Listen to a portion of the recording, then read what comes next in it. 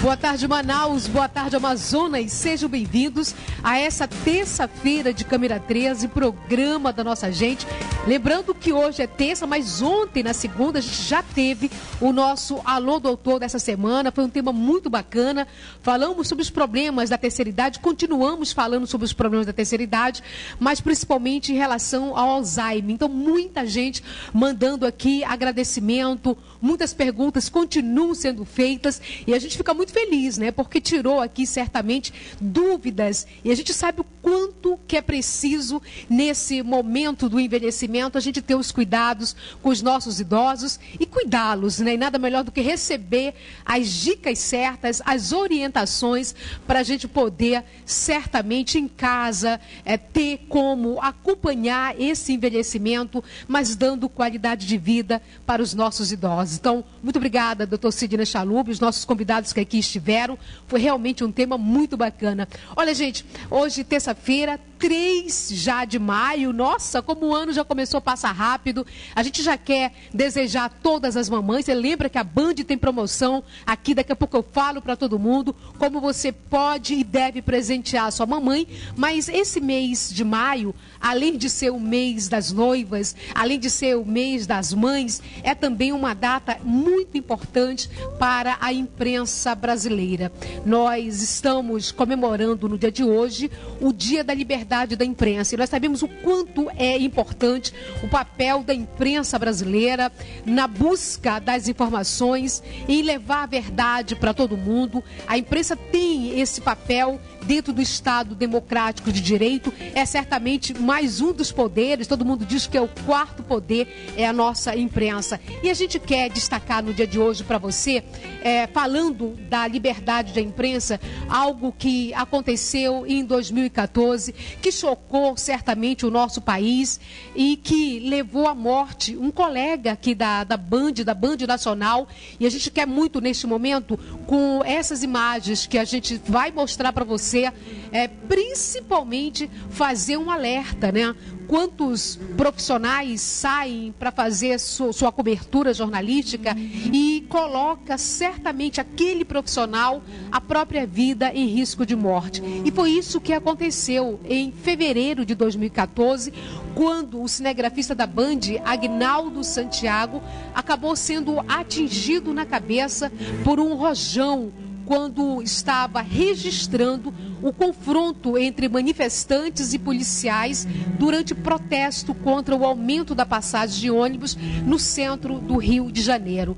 Portanto, certamente foi uma das cenas que muito marcou né, o, o, nosso país, uh, todo o meio de comunicação, todas as emissoras acabaram é, entrando nessa rede de solidariedade, mas principalmente é, a solidariedade em função do que estava acontecendo né, em relação à morte do cinegrafista, mas também uma rede de alerta, de chamamento de atenção para o que não só aconteceu com o Aguinaldo, mas o que acaba acontecendo no dia a dia com muitos profissionais que são desrespeitados, que vão fazer uma cobertura e nem sempre tem o seu trabalho valorizado e respeitado acima de tudo.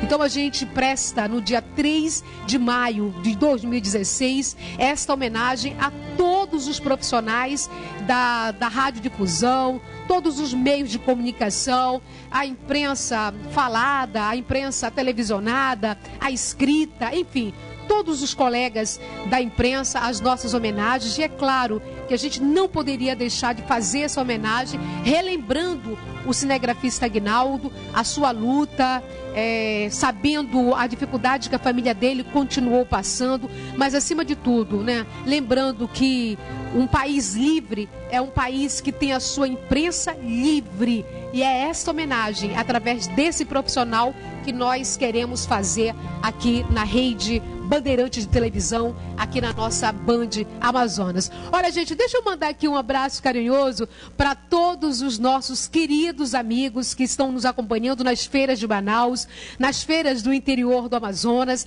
Quero muito registrar aqui e fazer um agradecimento aos nossos feirantes lá do município de Itacoatiara, moradores de Itacoatiara, sempre relembrando as suas feiras. E a gente não poderia deixar de fazer esta homenagem aqui na Band Amazonas. Tem alô aqui no nosso WhatsApp? Vamos ver aqui quem já está conosco nessa terça-feira, é a Marinilde Lins. Conceição, manda um alô para todos aqui do Careiro da Várzea.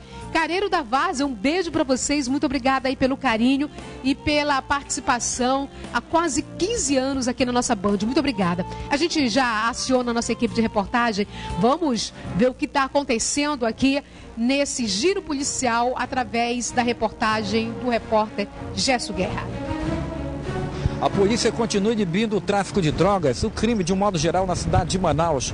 Foram presos o Adair Marques Sombra, de 39 anos, o Jader Tavares Vidal, conhecido como Jerry. Esses dois foram presos no bairro da Glória. E também o Deison Vieira da Costa, conhecido como Jason, de 33 anos, que foi preso no bairro de Santo Antônio. A denúncia anônima chegou até os policiais do 5 DIP, que tiveram todo o apoio aí da primeira seccional sul e prenderam esses três elementos. Só para você ter uma ideia, o Jason ele usava um celular para o Disque Drogas e ele abastecia o bairro de Santo Antônio. Ele também estava com a licença de quatro dias para tratamento médico e não voltou mais para a cadeia Vidal Pessoa. Delegado, foi um, foi um trabalho em conjunto então, é, Quinto DIP, também a, sec, a Seccional Sul?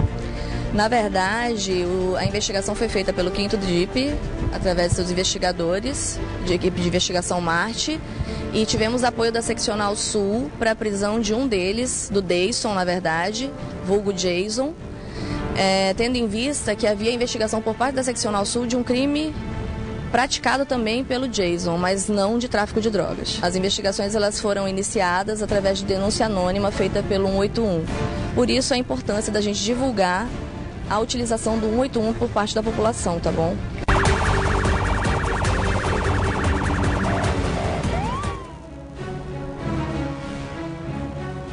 Gerson, muito obrigada aí pelas informações. Quero lembrar a importância, né? A gente já divulgou aqui muitas vezes o 190, 181 e chamar a sua atenção porque sempre é bem bacana quando você tem principalmente a questão do ronda nos bairros, o telefone aí do, do policial que faz a ronda no, na, no, na sua área, na sua comunidade, e ter na sua agenda esses dois números, o 190 e o 181, certamente uh, acaba fazendo a diferença na hora que necessitar. Tomara que você não precise, mas precisando, dá uma ligada, viu, gente? Quero também aqui registrar e agradecer a todas as queridas mulheres que acompanham o nosso programa. Esse mês de maio é o mês das mães, mês das noivas, muita gente casando também. E a gente quer muito, através do nosso WhatsApp, mostrar o seu casamento. Manda foto aqui para o nosso programa. Já já aparece na nossa tela da Band aqui o nosso número, o WhatsApp, que você pode, através dele, fazer com que toda a família, seus amigos, possam também ver e rever um pouco esse momento especial do mês de maio. Mês de de maio, que tem muita promoção na Band. Já já eu mando um recado aí para os filhos que querem presentear sua mamãe. Daqui a pouco domingo já chega, chega o Dia das Mães. E aí, você já sabe o que vai dar para mamãe? Se você ainda não sabe, se o dinheiro anda curto, a Band vai, através aqui do nosso programa, presentear sua mamãe. É só você ficar muito ligado aqui no nosso Câmera 13. Olha, deixa eu acionar já minha irmã Socorro Sampaio. Ela esteve essa semana agora visitando mais uma comunidade aqui na cidade de Manaus e como que as comunidades chamam aqui o nosso programa. A gente agradece muito, porque muitas vezes a infraestrutura que está faltando naquele local acaba que os moradores denunciam através do nosso programa, de outros programas aqui da Band.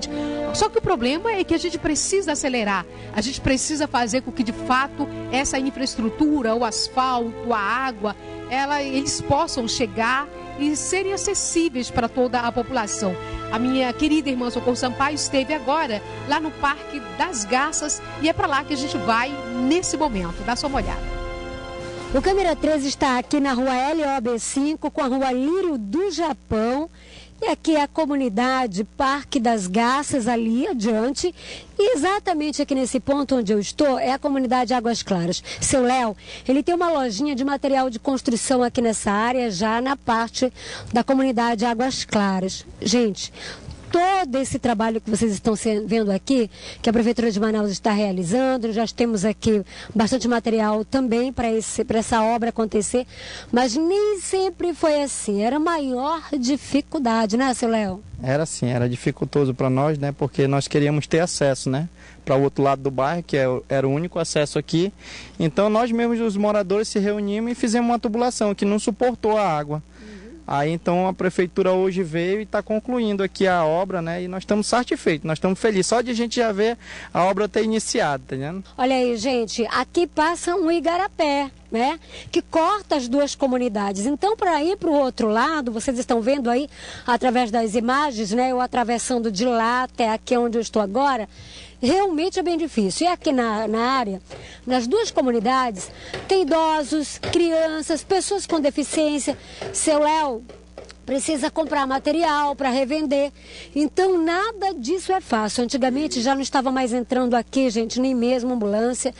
Hoje não tem condições, mas em breve vai ter de, de chegar até aqui as duas comunidades, novamente os ônibus, né, seu Léo? Então vai ser assim uma realização de um sonho para vocês. Isso, é um sonho para nós, né? E nós ficamos felizes, né, de ver nossos vereadores fiscalizando aqui a obra. É, seu Léo? E isso, nós ficamos muito felizes, né? Não só fiscalizando, como lutando. Então, a gente quer aqui agradecer. A gente veio para mostrar sim. A gente cobra, claro, mas também a gente sabe agradecer, né, seu Léo? Então nós estamos aqui para agradecer à Prefeitura de Manaus, porque nós, através da, da imprensa, através do Câmera 13, a gente cobra sim. Na Câmara Municipal, a gente também solicita, pede, cobra, vem fiscalizar, mas só quem pode fazer realmente, quem tem a mão de obra e o material para fazer é a Prefeitura, né, seu Léo? É, isso, é a Prefeitura. Nós esperamos que daqui uns dias vocês retornem aqui conosco já para mostrar essa rua asfaltada. Para inaugurar? Para inauguração, né? Da nossa rua, tudo pavimentado, tudo bonitinho. Olha só o que eu descobri aqui no Parque das Garças, gente. E é juntamente com Águas Claras, né? Porque aqui são todos vizinhos, né, Léo? Todo mundo se conhece, todo mundo se gosta, né, não, gente? Eu já descobri um artista, é o Mauro. Mauro Quer dizer que você tem um CDzinho, Mauro? CD, eu gravei o CD, tá com dois meses. Uhum. E eu queria, assim, ter a oportunidade de divulgar meu trabalho na televisão. E adivinha qual é o programa que ele quer ir cantar? Canal 13. Ah! Olha aí, aqui é o Câmera 13, né, Mauro? Mauro, quero ver se você é bom agora, meu amigo. Canta uma musiquinha pra gente. Como Zaqueu quero subir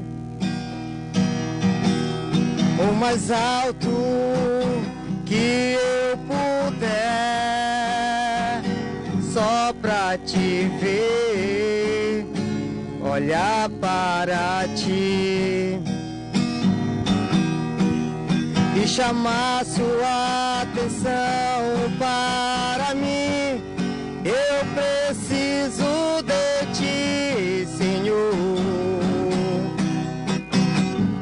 Gostou?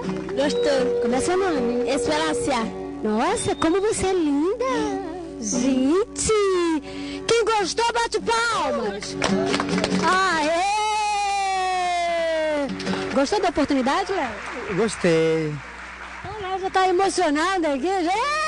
coisa boa! Um dia eu falei pra tele, eu via, eu via você na televisão, eu digo, um dia eu queria encontrar com essa mulher. Poxa, Jesus botou você no meu caminho hoje. Ai, Léo, sério? Sério.